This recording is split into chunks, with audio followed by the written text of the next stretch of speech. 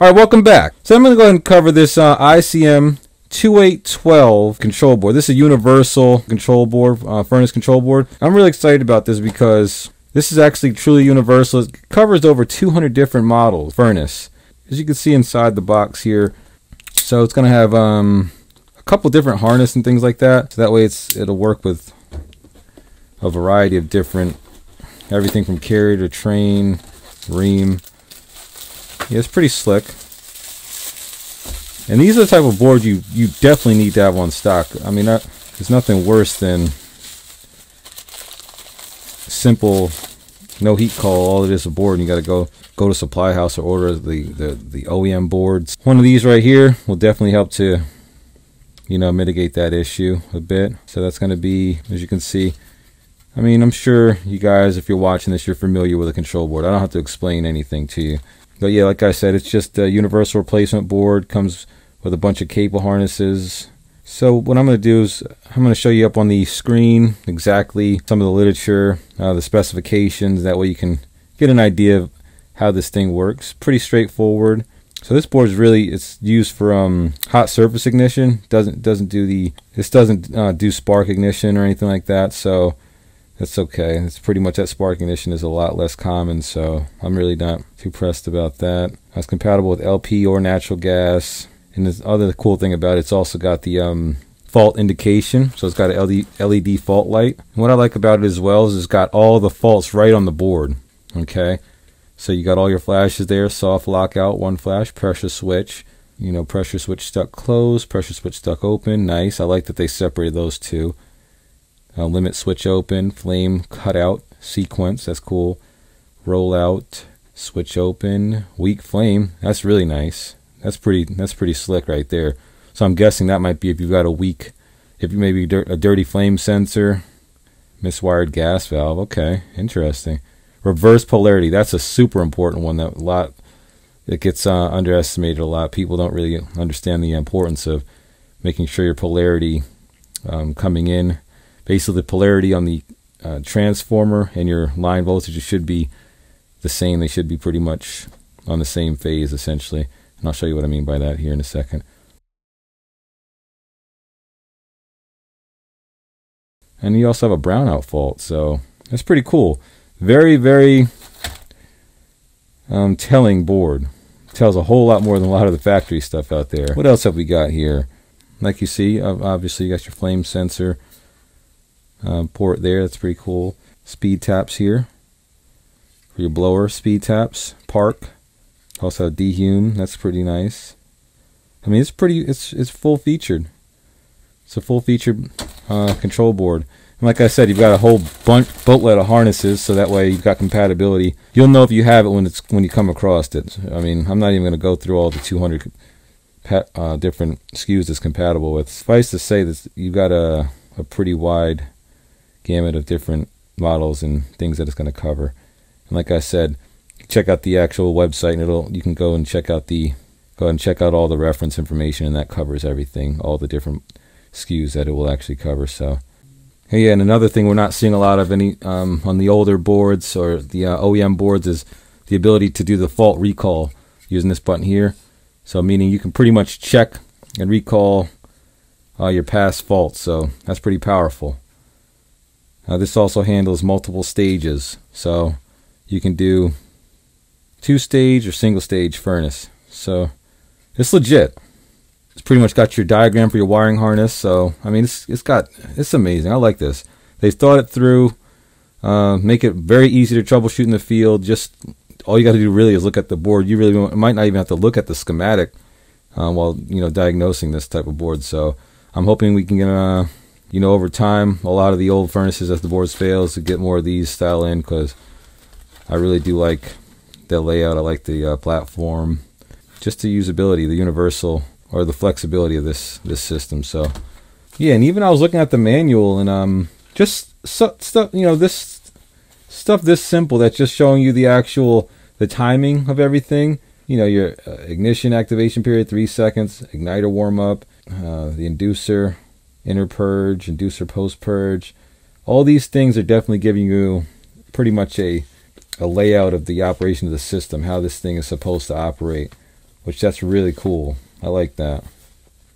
Here's all your faults, once again in the manual. So anytime you install these, make sure you keep that manual. Look at that.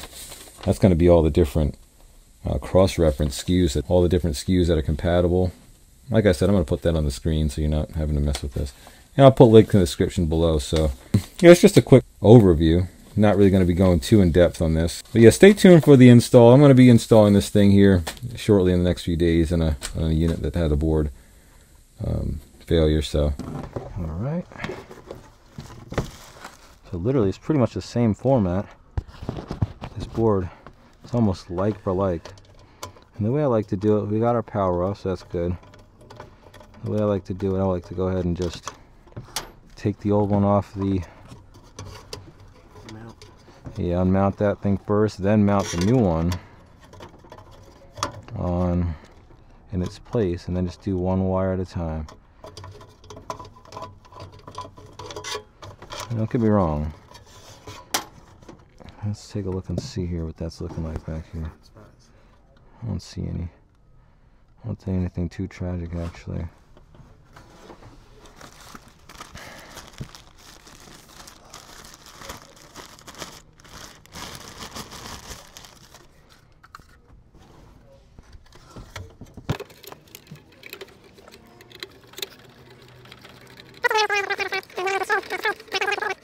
Think um, a couple signs and symptoms that were shown.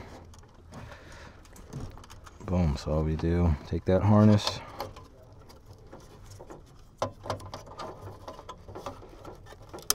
Run it in like such. This blue wire is for your flame sensor. FS there on the old board. That's the same here. Flame sense here. Okay. These are your neutrals here, your whites. So those neutrals are going to line up down here along with this harness. So this is just the kind of way to make it stress-free and just kind of foolproof. Let's get our neutrals down there. I'll put the neutrals on first actually before I do this harness all the neutrals are going to be landing on the same traces really. Doesn't matter where you put them as long as it's on the neutral bar.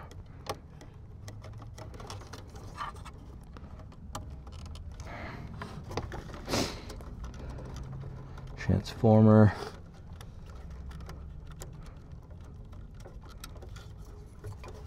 H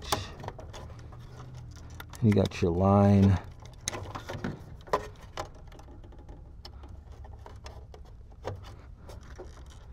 Okay, it's a park.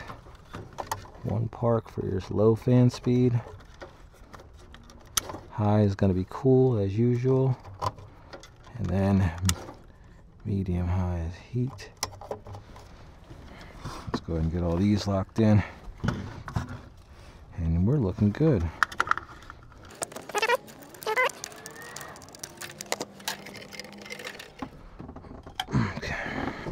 There she goes. Firing up here now.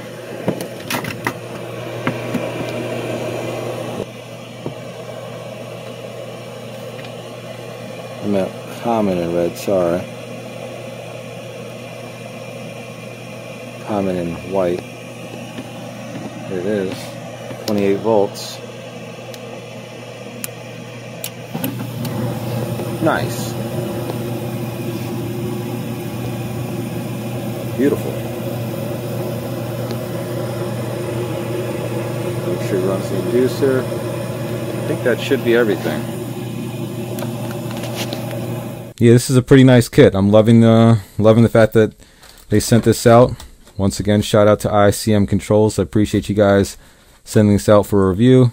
I'm definitely going to get this thing in the field. I might actually have a job coming up here in the next couple days where I'm going to install this, so I'll make sure I capture that and I'll get that posted and definitely let everyone know how this thing does in the field, which I'm pretty sure it'll fare well. I mean, ICM does good work. Definitely worked on their products a lot in the field throughout my career. So other than that, guys, let me know what you think. Let me know if you have any experience with this here, this board, and the other boards as well. I know they do a couple other boards. They got defrost boards. Matter of fact, I might have to go ahead and see if they can send me out a defrost board because I'd definitely like to do a review on that, uh, cover that thing. But yeah, they got a whole bunch of stuff. Check out the websites. Yeah, the website's pretty informative and pretty well put together. So let me know what you think in the comments below. Uh, thanks for watching. We'll see you on the next one.